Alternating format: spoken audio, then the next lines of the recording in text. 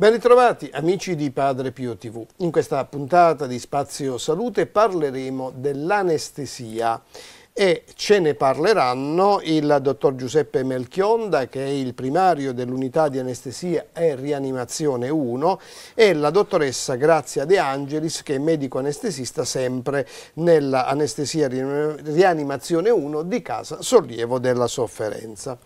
Allora partiamo un po' uh, da, dagli albori, partiamo uh, da quello che storicamente è stato l'inizio di quella che oggi è diventata l'anestesia. E chiediamo al dottor Melchionda com'era la chirurgia prima della scoperta dell'anestesia attuale? Eh, prima dell'anestesia attuale, o meglio dell'anestesia moderna, la chirurgia era in grossa difficoltà, nel senso che il chirurgo non esisteva, come attualmente noi consideriamo. Non c'era un medico che si occupava della chirurgia, ma erano dei praticoni, tra virgolette, che non avevano una dignità proprio medica, ma avevano una dignità perché chiamati a risolvere delle situazioni piuttosto acute e importanti. Questo è una dimensione molto povera, cioè il chirurgo non esisteva.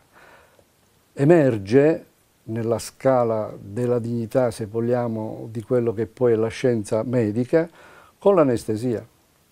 L'anestesia incominciò una primavera straordinaria, eh, fino ad arrivare alle attuali possibilità di, di, risolvere problematiche di trattamento chirurgico, e il chirurgo ha acquistato anche una dignità, una dignità nel, ha scalato i gradini di quello che era il famoso medico di una volta.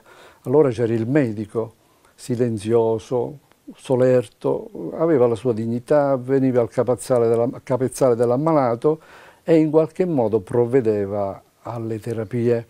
Il chirurgo no, era considerato, Celso lo considerava nella storia, un omone giovane, pieno di energia, che doveva risolvere pochi problemi perché, pochi, perché pochi problemi potevano essere risolti chirurgicamente.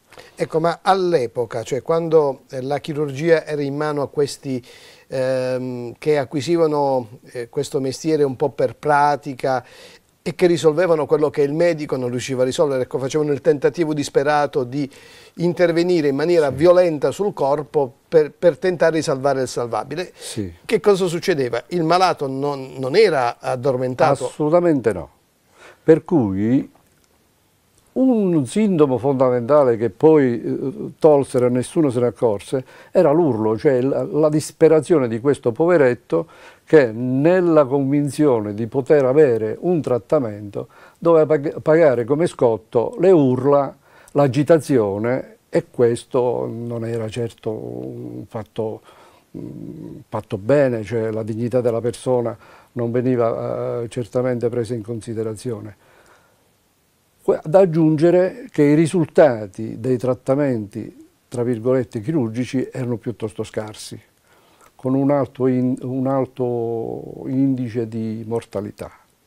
E invece, eh, diciamo, la nascita, per così dire, dell'anestesia, eh, che ha una data precisa, eh, quanto, sì. a quanto sappiamo e che ora eh, sarà reso noto a tutti, ha cambiato completamente le cose. Allora, cosa è successo sì. e quando è successo? Cioè, il, il 16 ottobre del 1846, io ritengo quello la data di inizio dell'anestesia moderna, si è realizzato il primo intervento in anestesia generale per inalazione, perché se la nascita è allora il 16 ottobre, è tutto un periodo di preparazione e di maturazione che ha portato appunto a questa bella fotografia teatro, sala operatoria del 1846. Cioè questa è la foto di quel primo la foto originaria, ah. sì, è originaria che mette in evidenza come i due attori principali, nonché il terzo che era il paziente, dovevano provvedere alla rimozione di una formazione al collo. E Warren nel, nel Massachusetts General eh, Hospital. Hospital americano sempre, aveva invitato Morton, un dentista odon, non odontoiatre come intendiamo noi, ma chi praticava la rimozione dei denti perché solo a loro quello si poteva fare. E però aveva scoperto una cosa interessante, che utilizzare un anestetico, no, un farmaco, no, un prodotto chimico, che era l'etere, uh-huh. riuscivano ad ottenere quelle che sono le condizioni ottimali per poter intervenire. Ottimale significa non grida, non agitazione e quindi silenzio che attualmente noi abbiamo nelle sale operatorie e oblio della coscienza, abbandono del paziente e il paziente poteva essere trattato. Warren in quelle circostanze disse un'espressione molto felice, questo non è un imbroglio, perché faceva riferimento sempre a una sperimentazione fatta qualche anno prima, per questo io penso che il 46 è l'età giusta per, per rendere consapevole l'uso di farmaci per la chirurgia, per l'anestesia utile per la chirurgia. Perché dice questo non è un imbroglio, perché qualche anno prima, sempre Morton, usò il protossido di azoto che già c'era però la condizione del paziente a un certo punto si era svegliato ah, ecco. e fece brutta figura, tanto per parlare in modo molto semplice. Da qui Warren ripeté l'esperienza con l'etere, approfondendo in modo piuttosto importante, e disse no, questo non è un imbroglio, questa è una realtà. Funziona. Funziona. Entusiasmo, commozione da parte di tutti gli astanti in questa sala, perché quella era una sala, tuttora si ha la, si dice la stessa cosa, sala operatoria, sala operatoria di allora è ovvio che le, con, le condizioni ambientali molto diverse rispetto alle attuali. E il fatto di aver scoperto o spostato l'etere da quello che erano l'uso nei festini o come funzione ricreativa in ambienti diversi, diversi dalla medicina, avevano spostato i termini della modernità erano moderni, per cui questa bella scoperta, questa bella scoperta aveva eh, riempito già il mondo scientifico di allora, per cui l'etere era assurta a dignità di anestetico. Però oggi l'etere non si usa più, quindi c'è stata un'evoluzione da quel 16 ottobre 1846 ad oggi. Sì. Perché non si usa più l'etere e quali sono i vantaggi dell'attuale anestesia rispetto a quella moderna 1846 dell'etere? Sì, beh, eh, I passi sono stati giganti perché l'etere era monofarmaco, mhm. -huh. però sospendendolo l'agitazione ci stava, il paziente non. Ma altri interventi non si poteva fare se non quelli di superficie. L'intervento delle scoperte di altri farmaci, Vedi cloroformio, che più o meno la stessa epoca. Cloroformio che è usato anche dalla, dalla regina Vittoria oh. per il suo settimo parto, per cui dice finalmente possono sen non sentire dolore. No? È eh, la scoperta di sistemi che controbilanciavano le depressioni di questi farmaci, perché possiamo parlare di farmaci solo da allora uh -huh. utili per l'anestesia i narcotici, parliamo da allora, adesso ci sono i narcos, vabbè, è un'altra cosa, però i narcotici erano quelli che servivano per dare ipnosi e davano antido- contro il dolore, quindi antidolorifico. I rilassanti, quei farmaci che poi sono stati usati nelle chirurgie generali addominali e tuttora si usano, è una scoperta molto più tardiva del secolo scorso, 1940-45. Sì il curaro, il mio rilassante uh-huh. nobile, scoperto perché la scienza è fatta anche di, di pionieri che andavano in giro. Certo. E nelle conoscenze, perché la conoscenza è fatta camminando pure, eh, andando a conoscere civiltà diverse, scoprirono che in Amazzonia le punte delle frecce che usavano gli aborigeni erano ricchi di questa sostanza, che loro usavano a scopo di uccidere gli uccelli, di, di, no, uh-huh. per cui si paralizzavano cadevano e potevano essere catturati. essere catturati.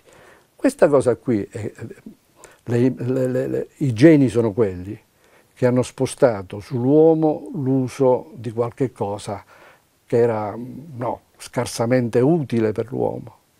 era utile per la caccia, era utile per altri motivi, l'etere era utile per i festini, uh-huh. qualcuno uh -huh. lo usò per altre cose, Paracelso nel 1500 e passa, 1540 più o meno, aveva intravisto nell'etere un farmaco utile per, per essere uh, usato in, in alcune eh, manifestazioni dolorifiche, mentre il vero successo avviene con la scoperta dei ventilatori, perché le depressioni ventilatorie non potevano essere utilizzati, o meglio, non potevano essere contrastati antagonizzati con altra cosa se non assistenza esterna, vedi i palloni di ambu, che è stata un'altra bella scoperta. Vedi le mascherine, vedi i raccordi. Ogni cosa che noi attualmente usiamo è stato un passo della scienza. Attualmente l'anestesia è fondamentale proprio perché non è adiuvante. Uh -huh. E manco fino a se stessa, sembra strano, ma di anestesia nessuno viene e chiede anestesia, no? Utile per i trattamenti chirurgici. E attualmente anche non chirurgici, vedi endoscopie, vedi eh, aiuto nelle risonanze magnetiche, vedi nelle procedure extrasaloperatorie. Però il principe dell'anestesia è saloperatoria. Abbiamo fatto un po' la storia eh, di questa branca della medicina, scoprendo anche quando è diventata tale e adesso cerchiamo di parlare dei due tipi di anestesia. Cominciamo con l'anestesia generale, di cui ci parla adesso con un contributo esterno il dottor Antonio Caso, anestesista sempre in servizio presso la prima anestesia e rianimazione di Casa Sollievo della Sofferenza. Ascoltiamo il suo contributo.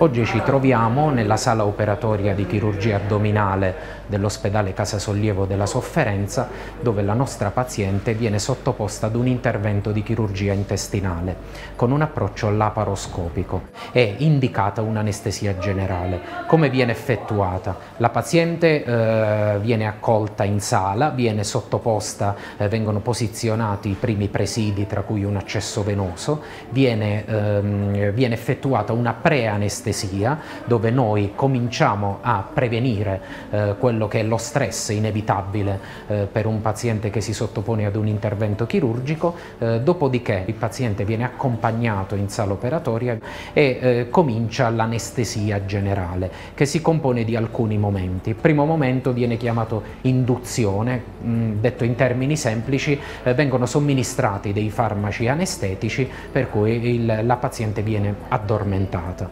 A Accanto a questo comincia il mantenimento dell'anestesia. L'anestesista sorveglia ogni parametro del paziente sulla base dei sistemi di monitoraggio di cui dispone. Abbiamo a disposizione un monitoraggio neurologico, un monitoraggio respiratorio, un monitoraggio della temperatura corporea, un monitoraggio neuromuscolare e un monitoraggio cardiovascolare che ci consentono di monitorare il funzionamento degli apparati e dei sistemi della paziente in ogni momento. Successivamente ci possono essere o il momento del risveglio oppure un proseguimento del decorso in terapia intensiva, dove il risveglio avviene in maniera più lenta e più protetta, sempre sulla base del monitoraggio stesso.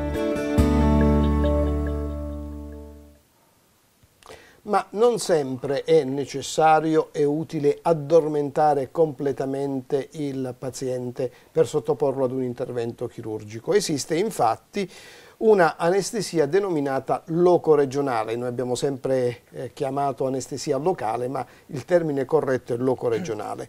E per capire come nasce questa ulteriore evoluzione eh, dell'anestesia, eh, lo chiediamo alla dottoressa Grazia De Angelis, che come abbiamo ricordato all'inizio del programma è anestesista presso la prima anestesia e rianimazione di Casa Sollievo. Allora, come si passa dalla generale alla loco-regionale? Allora, sono cose effettivamente diciamo, unite ma eh, diverse. L'anestesia loco-regionale possiamo dire che è iniziata nel 1860 quando Niemann Albert ha scoperto che la cocaina ha un effetto anestetizzante. Qualche anno dopo, nel 1884, è stato proprio inoculato un, la cocaina su un nervo um, per un intervento sulla mascella. Questo è stato praticamente un inizio, un inizio che è andata sino ai giorni nostri perché l'uomo ha sempre cercato di lenire il dolore, ehm, essenzialmente sia durante l'intervento ma anche dopo.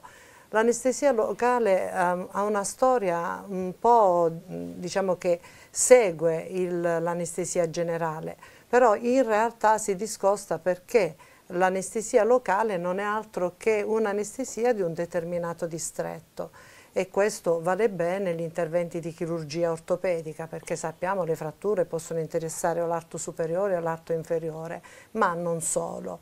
E comunque eh, per, per tornare alla storia dell'anestesia loco-regionale possiamo dire che si è passata da un'anestesia a cielo proprio completamente chiuso, scuro, ad un'anestesia dove con l'arrivo dell'elettrostimolatore negli anni 90 abbiamo incominciato a vedere un'anestesia molto più eh, diciamo importante, nel senso che con un ago e collegato ad un elettrostimolatore andavamo alla ricerca di un determinato nervo e questo eh, se la contrazione di un muscolo ci faceva rendere conto se effettivamente quello era il nervo che noi cercavamo. Tutto questo è possibile perché eh, sull'organismo abbiamo una mappa geografica che non è altro che la proiezione dei nervi sulla nostra cute. Quindi noi sappiamo come se abbiamo bisogno di addormentare una parte del, dell'organismo sappiamo i nervi che corrispondono. E, ehm, sicuramente gli anni 90 con l'arrivo dell'elettrostimolatore hanno cambiato il destino dell'anestesia, però già nel 1978 le Grange avevano cercato di effettuare un'anestesia ecoguidata nel senso che non avevamo ancora quegli ecografi così performanti per il nervo, però eh, questi, questo autore ha depositato l'anestetico intorno ad un'arteria, perché sappiamo che vicino un'arteria c'è sempre un nervo. Gli anni 2000 però hanno fatto la rivoluzione per quanto riguarda l'anestesia locoregionale, perché finalmente siamo passati dal guidare una 500 a guidare una Ferrari nel senso che finalmente quello che immaginavamo lo possiamo vedere. Quindi vediamo il nervo, vediamo come depositiamo l'anestetico intorno al nervo, non, non facciamo nessuna lesione sul nervo perché siamo ben lontani e quindi diciamo, l'ecografia ha cambiato, ci ha aperto un mondo nuovo, uno spazio veramente incredibile. Ecco, però l'anestesia locoregionale eh, impedisce che il paziente se, senta il dolore, però di fatto il paziente rimane sveglio, quindi l'impressione di subire un intervento ce l'ha. No, perché il paziente è sveglio, però noi associamo una sedazione, cioè ah, ecco. eh, diciamo, eh, diamo conforto anche al paziente, non lasciamo mai che il paziente possa subire diciamo, tutto la, la, questo trauma. tipo di anestesia, anzi facciamo in modo che non sia un trauma. E quindi qual è il vantaggio di, eh, visto che il paziente comunque è sedato, di aggiungere anche l'anestesia locale? Uh, no, è una blanda sedazione. Il paziente rimane vigile e cosciente, ah. a differenza dell'anestesia generale dove viene annullato lo stato di coscienza. Qui noi parliamo con il paziente, a volte facciamo anche diciamo, barzellette proprio per fare in modo che il paziente si senta a suo agio. Quindi il paziente è cosciente ma non ha quella sensazione spiacevole perché appunto viene sedato con dei farmaci abbastanza blandi. E ora vediamo proprio praticamente come si effettua l'anestesia loco-regionale, ce lo spiega in questo contributo il dottor Raffaele Russo, anche lui anestesista della prima anestesia e rianimazione di Casa Sollievo della Sofferenza.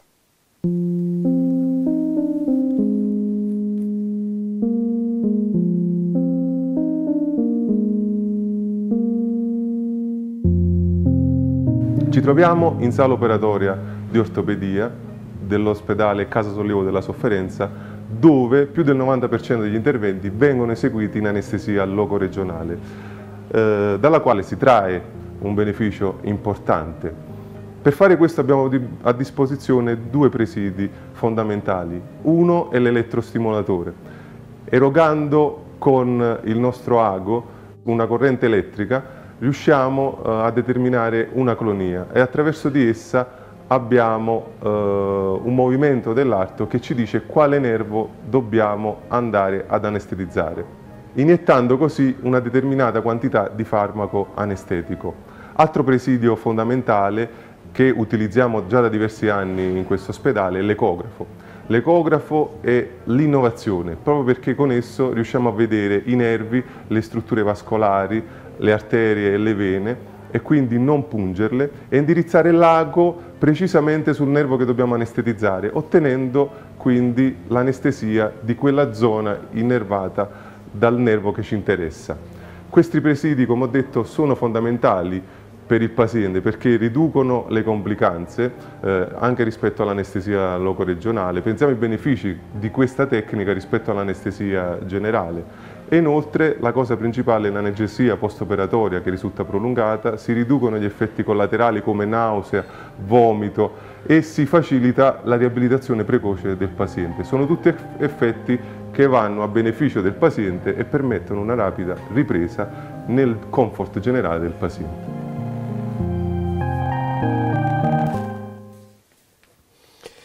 Ora questa ulteriore evoluzione dell'anestesia dell si è organizzata anche dal punto di vista associativo, tanto è vero che è nata una società anche a livello europeo, la Società Europea di Anestesia Locoregionale e di Terapia del Dolore, che proprio poco tempo fa, dal 25 al 27 ottobre, si è riunita in congresso eh, presso, a San Giovanni Rotondo presso il Centro di Spiritualità eh, Padre Pio.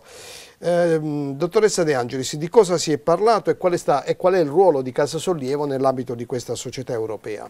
Eh, a San Giovanni abbiamo parlato essenzialmente di queste tecniche eco-guidate e di tutto ciò che ha portato l'innovazione da parte dell'ecografo. Inoltre sono stati effettuati dei workshop affinché i giovani anestesisti o anche anestesisti che non sono ancora dedicati a questo tipo di anestesia potessero vedere quali sono le condizioni e quali sono effettivamente una situazione migliore rispetto all'elettrostimolatore. Si è parlato anche dell'analgesia post-operatoria co-guidata, cioè l'anestesia ehm, praticamente eh, grazie all'ecografo siamo usciti dalla sala operatoria dell'ortopedia, nel senso che l'anestesia eh, loco-regionale adesso interessa anche altre chirurgie come la chirurgia addominale, la chirurgia toracica e la chirurgia senologica perché proprio con l'ecografo riusciamo a vedere quei nervi che altrimenti non avremmo mai visto e eh, iniettare con anestetico locale a durata d'azione lunga per dare un'analgesia post-operatoria. Cioè se in queste chirurgie non effettuiamo un'anestesia chirurgica con anestesia loco-regionale, però effettuiamo un'analgesia post-operatoria. Questo significa che il paziente non ha dolore per molti giorni, ha una ripresa maggiore e quindi praticamente eh, la centralità del paziente in questo caso viene ancora ad essere più centrale di quello che generalmente noi consideriamo. Bene, come avete potuto vedere eh, l'anestesia ha un passato, una preistoria, una storia, un presente ma anche un futuro. E con questo vi salutiamo ringraziando il dottor Melchionde e la dottoressa Grazie. De Angelis Grazie. e dandovi appuntamento a fra sette giorni.